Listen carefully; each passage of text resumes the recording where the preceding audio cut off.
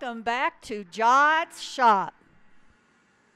This video shows the installation of our new garage floor winch, so one person would be able to move non-working vehicles into the shop. We welcome all comments and suggestions you may have. Please add them below. Also, if you like the video, remember to hit that thumbs up button. We decided to install a Harbor Freight electric winch. It's a 120 volt, 1500 pound capacity. The price was reasonable, especially with the 20% off coupon, and the reviews were overall okay. Opening the box, we see the manual, the base plate, the fastener package, the Fairlead, and finally the winch with the attached remote control.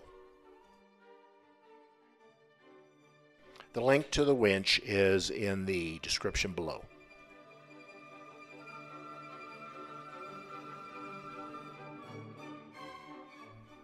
The fastener package includes four bolts for attaching the base plate to whatever you're going to mount on, three bolts for attaching the winch to the base plate, and two bolts for attaching the Fairlead guide to the front. After we put the winch together, there's a few hints that we thought we'd share to make your installation easier. First, notice how close the Fairlead nuts are to the winch after their installation. This spacing causes the supplied bolts to be too long, so we ended up replacing them with shorter bolts. Our second hint deals with attaching the winch to the base plate. The manual says to first attach the winch, then attach the Fairlead. However, doing it in that order made it very difficult to attach the Fairlead even with the shorter bolts we replaced earlier. What if we attached the Fairlead first, then attached the base plate? This leads to the problem that it's very difficult then to attach the front bolt holding the winch to the base plate. So our recommendation is to first loosely attach the front bolt holding the winch to the base plate. Then attach the Fairlead to the base plate and finally attach the two back bolts holding the winch to the base plate. The last major issue we found was using the supplied bolts to attach the winch to the base plate. Since the bolts extend below the base plate, the base plate ends up wobbling on a flat surface. To solve that problem, we created two large 3 8 inch steel plate shims that would go under the base plate.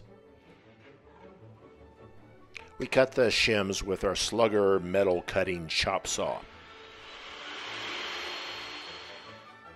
By the way, we really like the slugger and highly recommend it.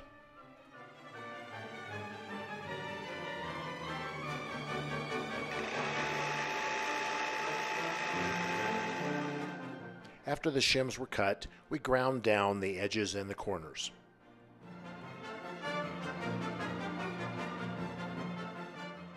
Then we drilled the 7 8 inch bolt holes.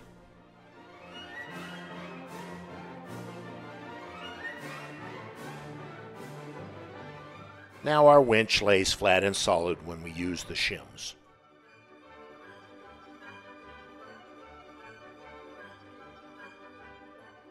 We decided to go with the same Wej-It anchors we used on the Dannmar lift to attach the winch to our floor.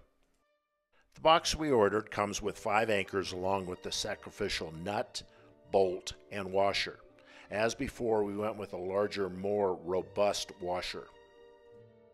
Remember to set the distance between the top of the anchor and the bottom of the washer to whatever the instructions say. This will give you the correct depth to drive the anchor down.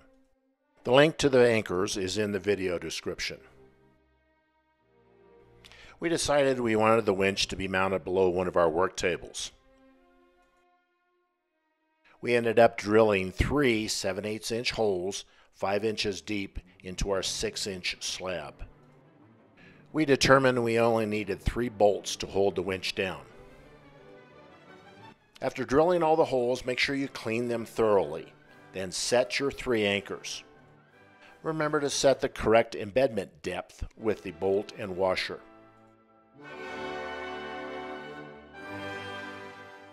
After the anchors are fully seated in the hole, tighten the nuts while holding the bolt head secure. We needed about three turns to fully seat the anchors. The anchor top ended up approximately a quarter inch below the concrete floor. Clean out all the holes and you're ready to go. We put down the winch. In case you're wondering, the wood wedge is there so we could get the anchor bolts in a little easier.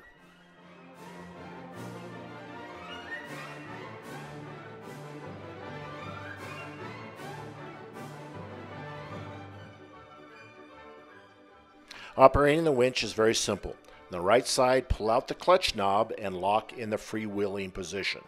Then you can pull the cable out to your desired length. Finally, push the knob in to re-engage the clutch. Grab your remote and you're ready to go. Notice the remote has very nice large buttons that are clearly labeled.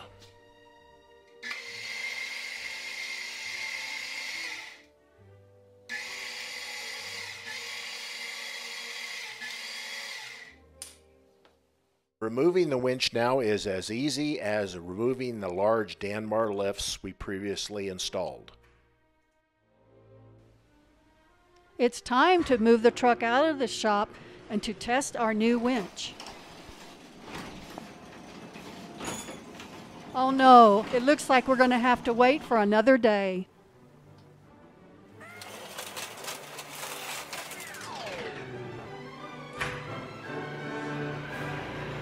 I've asked my assistant now to clear off the driveway. Our next planned episode will deal with checking the engine's condition. Also, once the snow melts some, we'll move the truck out to pressure wash it.